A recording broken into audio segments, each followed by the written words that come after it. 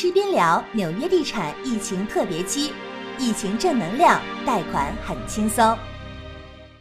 大家好，欢迎来到我们边吃边聊纽约地产的疫情特别期。很多买家看了我们上一期大胆买房子，都陆续咨向我咨询了地产的问题。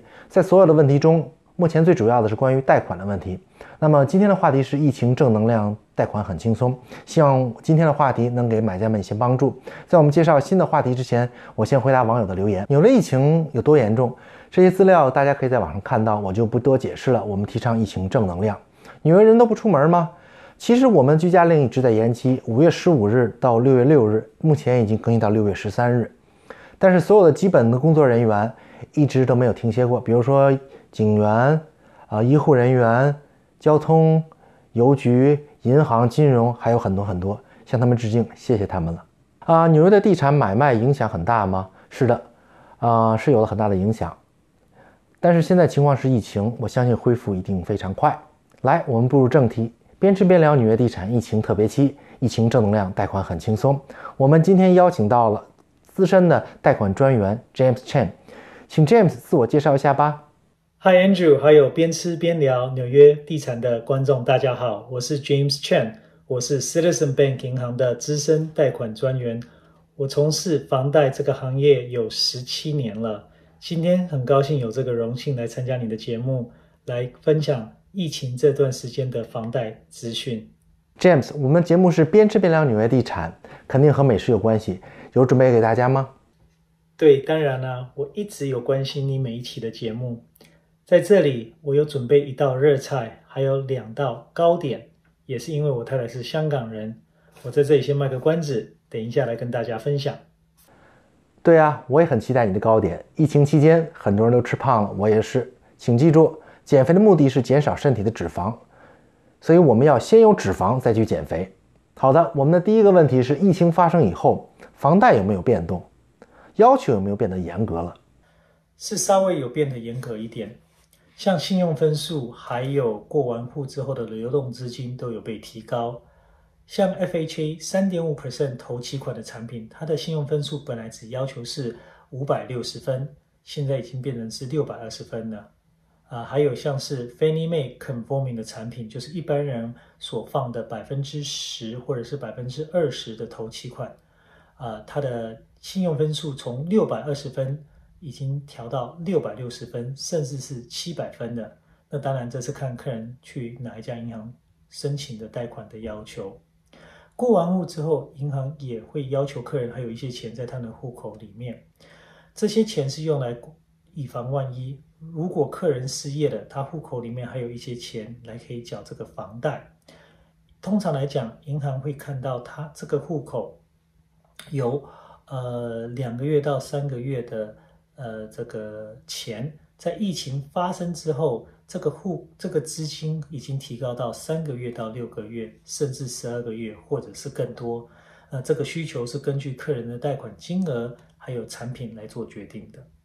啊，其实信用分数没有太大差别，这个还是可以接受的。关于过户后的储备资金，我之前在小视频里也提醒过大家，只不过疫情期间需要金额会多一些，可以理解的。James。第一个美食是什么呢？好，我们的第一道菜是蒜蓉虾。那这道菜的材料是虾子、大蒜、姜、葱，还有一点米酒、盐巴，然后放到锅子里面去蒸个八分钟到十分钟就好了。这道菜可以给喜欢海鲜的朋友来试试看，做法非常容易。肉虾看上去很鲜嫩，而且做法也不复杂，主要是调料搭配的好。下个问题是，客人要准备什么贷款的材料呢？疫情期间过户的时间有没有很大的变化？OK，非常好的问题，Andrew。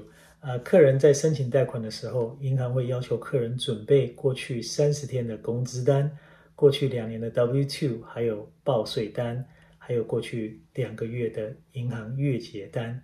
那这个是以上是给这个上班族的。呃，如果客人他本身是自己开公司的话，银行会要求他们准备过去两年的公司报税单这样子。那现在过户的时间大概是嗯五十天到七十天左右。好，这是给房子买房子的，还有买 condo 的。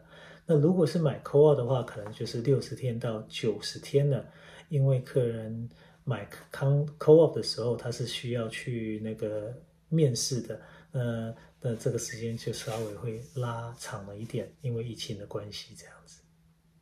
没错，在疫情期间，由于每个人都在家工作，效率会慢一些。为了每个人的安全，我相信买卖双方也是会理解的。James，那么我们的糕点在哪里？这是刚刚新鲜出炉的火腿包，啊，这是用面粉、奶油、糖、盐、牛奶还有鸡蛋，最重要的那个 ingredients 就是 hot dog 啊，放在那个烤箱烤十五分钟，新鲜出炉的。接下来呢，要给大家介绍的第二道糕点是蛋挞。蛋挞在香港是非常受大众的喜爱的，也是非常传统的一套点心。做蛋挞呢有两个步骤，第一个步骤是做皮，第二个步骤是做里面的料。那做蛋挞呢需要面粉、鸡蛋、牛奶、糖跟奶油。那烘焙的时间大概是十五分到二十分钟左右。啊，让我想起了港式面包店，加上一杯港式奶茶，感觉回到了疫情前。还是回到现实吧。最后有请 James 为每一个想要买房的客人一些建议。在做贷款这段时间，以下的几项是要注意的。第一项是投期款。呃，在我们的华人圈子，很多时候客人是等看好房子、签好合同之后，才去筹备剩下的头期款。其实这个观点是错误的。头期款应该一开始就要准备好了。去申请贷款的时候，银行会要求看过去两个月的月结单，那时候的钱，那时候这笔钱应该已经在那个户口里的这样子。啊，第二项是关于客人的信用，如果客人知道他要去买房子了，啊，那也需要房贷，那时候就不应该去乱刷卡，或者是去申请新的信用卡。啊，或者是任何的贷款，比如说车贷呀、呃租车啊、学生贷款啊这些的，呃，在申请贷款的时候，也不要把信用卡给关掉，这样子都会去，因为这样子做都会去影响到信用分数。